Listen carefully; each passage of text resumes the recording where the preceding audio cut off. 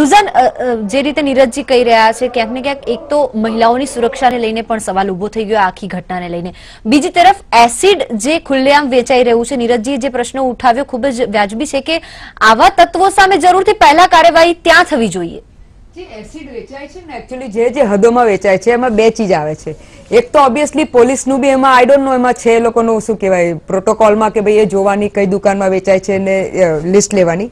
પણ બીજું એક વાત તો નક્કી છે કે જે આપણા કોર્પોરેટર્સ છે, હરેક એરિયાના, એ લોકો પોતાના સ્વયંભૂ પોતાની રીતે.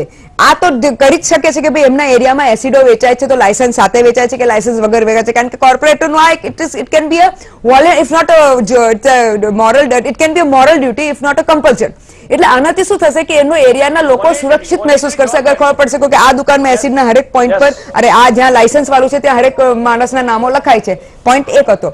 બીજો પોઈન્ટ જે બહુ ઇમ્પોર્ટન્ટ કહેવાનો છે કે સાહેબ એક સરસ વાત કરી કે આ કલમો છે ને આ લાગવી જોઈએ ને તે લાગવી જોઈએ. પણ મારે મારી પાસે બીજા બે કેસ છે જે ગુજરાતમાં થયા છે અને એ કેસ જે આઈ મીન લોયરો હવે હવે એ સાહેબને નહીં ગમશે પણ લોયરો જ આ કે બધું જૂઠા સાચા કરી અને જે પેલો ગુનેગાર હોય છે એને બચાવવાની કોશિશ કરે છે. એટલે આપના ચેનલ થકી સાહેબ થકી મારે એ બી કેવું છે કે લોયરો બી થોડા જાગૃત થાય કે બહેનોના આવા ઇસ્યુઝ હોય તો જૂઠા સાચા ના કરે. જે સત્ય